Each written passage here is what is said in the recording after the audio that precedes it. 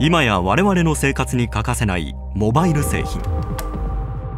その中には機器と機器をつなぐ数多くのコネクターが使われています。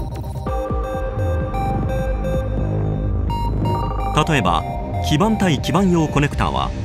タブレット PC やスマートフォン内部の基板と基板をつなぐ重要なコネクター。その他 FPC 用やカード用など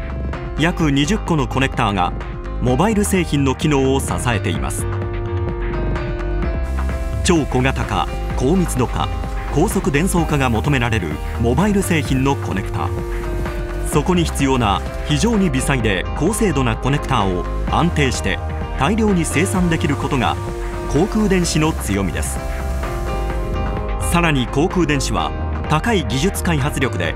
進化し続けるネットワーク社会に新たな扉を開いていきます。